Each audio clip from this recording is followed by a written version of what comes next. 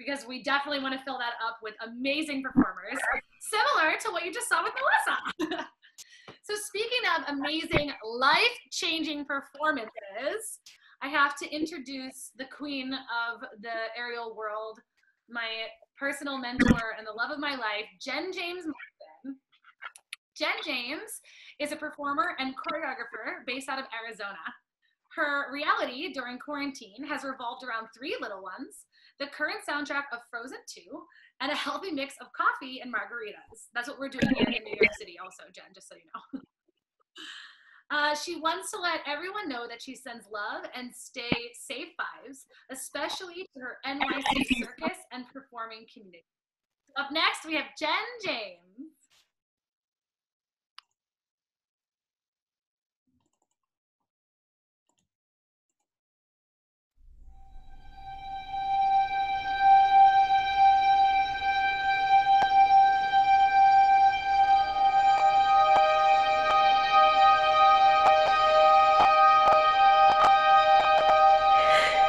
I've seen dark before, but not like this.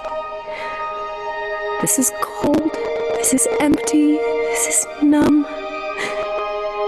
The life I knew is over. The lights are out. Hello, darkness.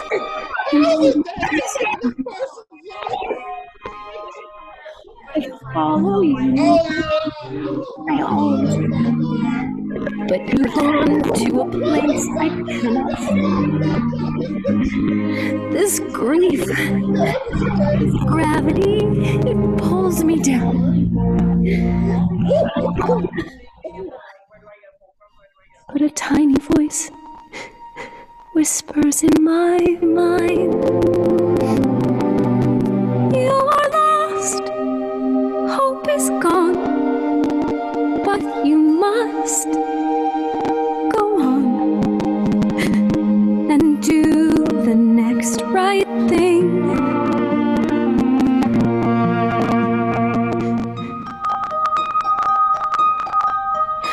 Can there be a day beyond this night? I don't know anymore what is true. I can't find my direction, I'm all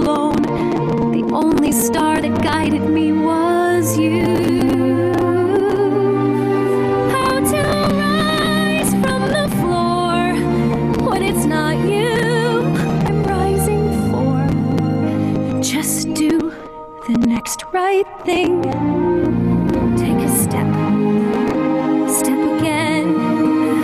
It is all that I can to do the next right thing.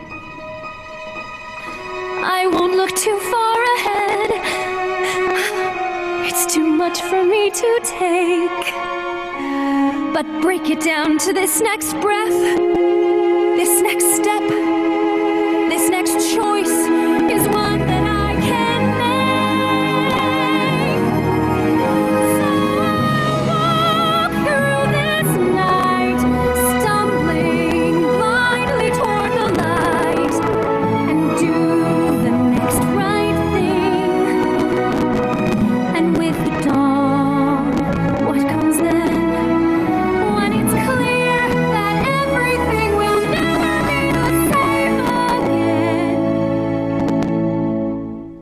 then I'll make the choice to hear that voice and do the next right thing.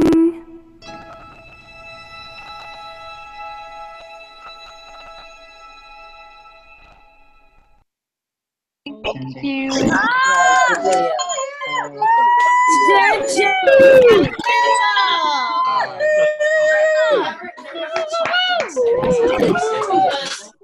Just as it was going around.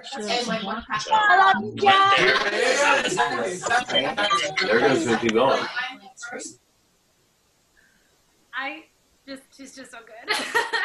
Yesterday I saw that performance and I was just like sobbing, crying. I couldn't handle it. Oh, she's so beautiful. Wait, spotlight her again. I want to see her child. oh, here we go. Ah. Thank you for being here from Arizona.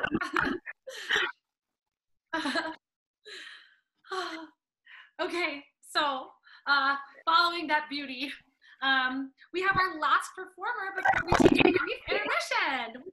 Why today?